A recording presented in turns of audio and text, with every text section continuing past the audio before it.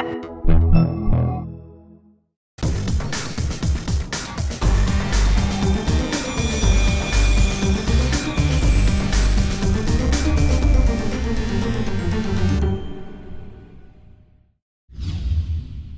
what's up? It's Gizmo, and this is a quick look at uh, a little walkthrough at the new iOS 4 for the iPhone. Um, if you want to check out the free update on your iPhone, you could go into plug it into your iTunes and just click on check for update, and you should be able to get a you know update right away. So the first thing you see right now is there's a wallpaper on the back, and this dock on the bottom is completely different. Um, it's a reflective dock as you can see here, if I want to move an icon, put something up here, and then move something down here, you're going to get the reflection on the bottom. It's really cool. We're going to look at a couple of the main features right now, so uh, let's just go over wallpapers. So I'm going to go into backgrounds and just grab something here, and let's say I want this, and I'm going to make this a wallpaper. And put it like that. And let's set it for both of my screens. So now, when I go home, I have a nice grassy, calm, relaxing background. Um, I could have two different images if I wanted something different here. I could have something different here if I wanted. But I think you should really have a simple background for this. Um, something that just doesn't, you know, clog up or make it look too cluttered when you're trying to read the text. Another way to change your wallpaper is going into your settings and clicking wallpaper and you can choose from um, one of the following preset wallpapers they included more. As you can see here some ugly you know feminine flowers like stuff that I would probably not want on my screen. But you could pick something simple and sharp and let's set this as our home screen. And then I want this to be my lock screen. And there you go. So there's my home screen with a nice cool green metal background here and there you go it's as simple as that so there's probably some apps in the background that um, need to be set up for multitasking um, I just tried out one app and it didn't exactly work as they say so I'm going to show you one thing, it's so much more convenient instead of having all these pages of games and apps and all this junk. Um, it's pretty annoying to have all this. Uh, what you can do now is make folders. So I'm going to show you real quick how I could do this. So I'm going to take this art app, this little doodle one, and drag it into another one. And what it does is give it a, you know, a theme. It'll automatically label it but I don't want to call it that. Let's just call it, um, you know, graphics.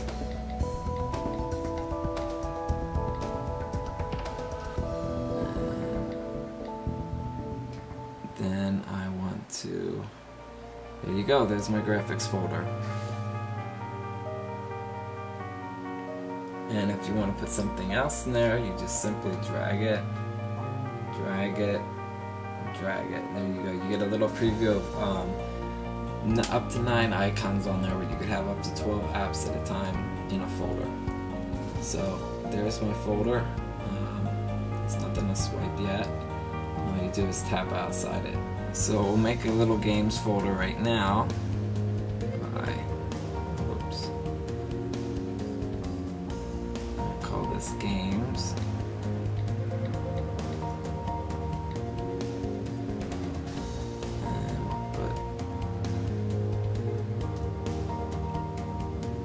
all you do is simply drag and drop the games you want into the folder.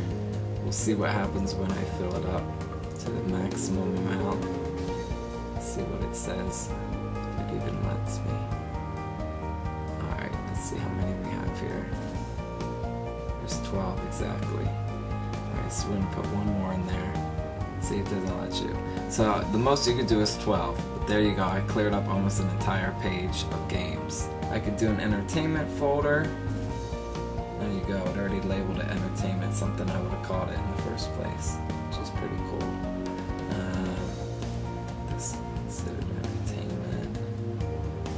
This would probably go under utilities. Yeah, and I made a utilities folder so I don't even have to worry about that. So you can see already my my desktop is getting perfectly cleared up. Um, entertainment, remote, utilities. Some apps I might not even uh, need to put into a folder. You could even put folders on your home screen, which makes things really cool.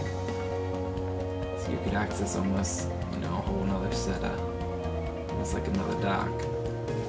Now if you want to take a file out, all you do is simply drag it. There you go. So as we're doing this, we're seeing a lot of apps getting updated on the App Store. As you can see, Ambiance here just got completely um, updated. Um, and so we have to go through and kind of update things that are made for OS4. So with email, now we get a unified inbox. I haven't even checked my email today, so everything's like crazy. Um, it tells you your accounts you have, and that's pretty cool. And if I wanted to go to that and just check my BTV account check all my YouTube stuff, you know, I could check that. Or if I just wanted to check all my inboxes, everything's together in one nice, inbox. Alright, so we're going to try out some multitasking stuff. So I have a text here. Uh, my friend's at the Lakers parade. And um, you can see, sent me a picture of everybody waiting and apparently going crazy. But, um, alright, let's go back here. And we'll check out my email. See if he sent anything. If I got any new news. This keeps me right where I'm at. So we're going to check out Ambiance and see how it works on uh, multitasking. Um, as you can see here, I kind of opened it up already, but we're going to play some annoying seagull sounds. Um, some people find it relaxing. Uh, sometimes I could find it relaxing, but anyway. We're going to go to the home screen. The sounds are still playing. I could still run my, you know, my iPhone reply to a text. Sometimes if I'm taking a nap, the seagulls are loud. Sometimes if I'm taking a nap, um, I like to have the sounds, you know, if it's frogs or something, you know, birds in the background, just like calm and quiet. I can. Um, double tap the screen and you swipe over. You can access audio controls. This would be your iPod. And you can see my Ambiance app is running in the background. If I wanted to close it, I could. And the app actually closes. Another thing we'll test out is Pandora. So we're going to test out a little um, multitasking action with uh, Pandora. So we're going to go over to my entertainment folder and find Pandora and let's get some music streaming. Um, I'm going to play some Beyonce and see what she can do for us. So we got this not great song playing. Uh, we got these guys playing. So we're going to go back to the home screen. We could get our text messages, see if anything, no response from there at the parade. Probably going crazy. Um, my emails are here in the same condition as I left it. Let's see what else I could do. So for the first time you could finally run Pandora in the background, which is great. You could access um, Pandora controls right here. Skip a song. So now you could finally lock your screen instead of having, you know, a landscape. If you're laying in bed and you just want to play on your iPhone, you could lock your screen in a vertical position so you could lay down and play. You know, makes things a lot easier and you could do it right there on the fly. So it's not that difficult to get to.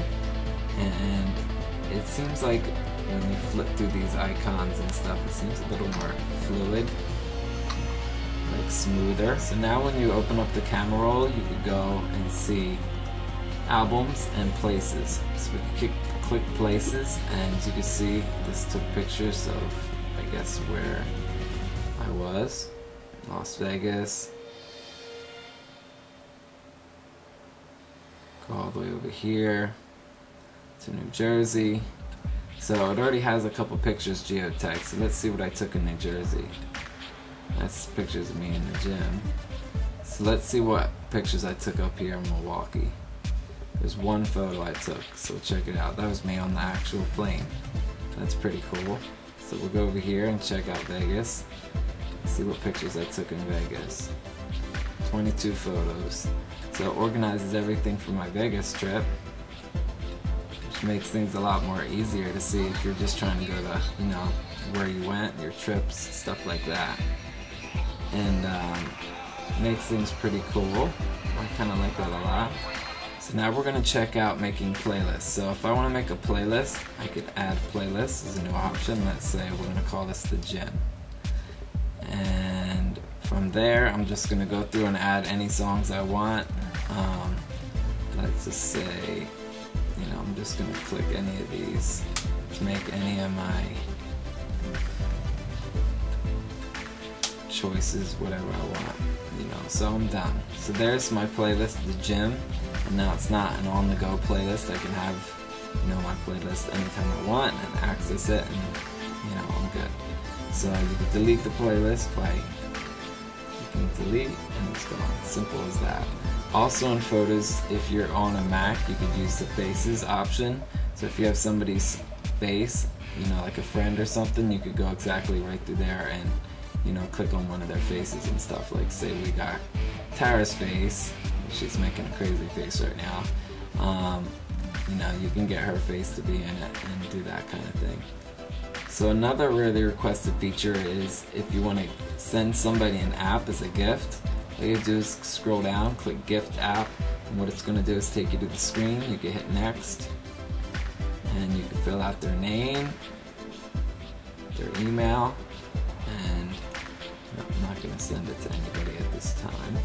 So that just shows how you can gift an app.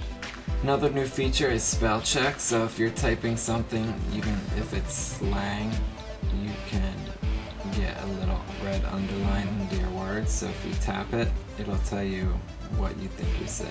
No, I'm not saying any of those words, so I'm going to tap it again, and you know you could ignore it. The site be going crazy. So there's that. That's a quick look at iOS 4. Um, you can download it for free if you have the 3GS or the 3G, and um, you know, tell us what you think if you're going to download it or if you're going to wait for the iPhone 4. Um, but it's a pretty cool update. It's a it's a pretty big update um, with a lot of much needed features, especially multitasking. Some apps need to be updated. If I'm playing a game, if I'm in the middle of a game here, I cannot go to you know, my books and read and come back and play the game will load. So make sure you update your apps, check the App Store, and um, that's pretty much it for iOS. This is Gizmo. Subscribe to our videos, and we'll check you soon.